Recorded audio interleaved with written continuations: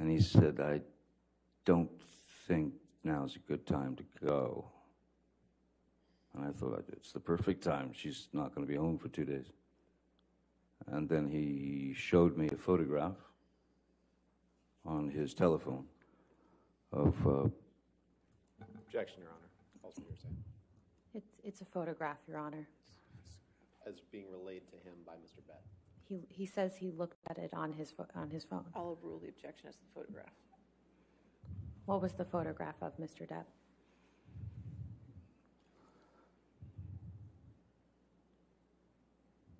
It was a. It was a. It was a photograph of the bed, our bed, um, and on my side of the bed um, was human fecal matter.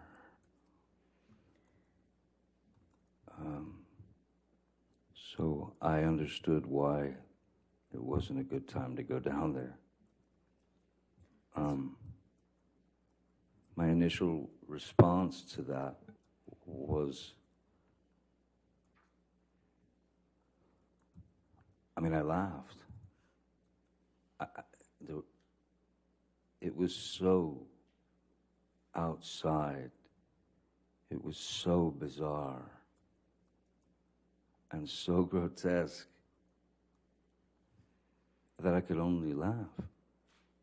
Um, and um, so I did not go down there that day.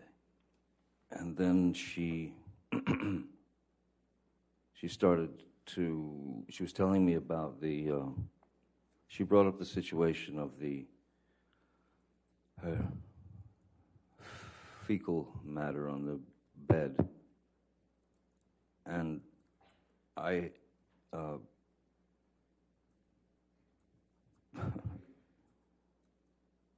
uh, and she tried to blame it on the dogs. But Why the didn't you, why didn't you think it could have been the dogs? the dogs weigh the, they're teacup Yorkies. They, they weigh about four pounds each. Um, the photograph that I saw, and, and uh, I mean, I lived with those dogs for many years, um, and so did Hilda Vargas. Um, my, she's a, she's a woman who's been with me for thirty plus years, you know, from the very beginning, and she was the one who photographed it. Um, it was clear she knew the dogs as well as I did. And that, that was not, none of that did not come from a dog. It just didn't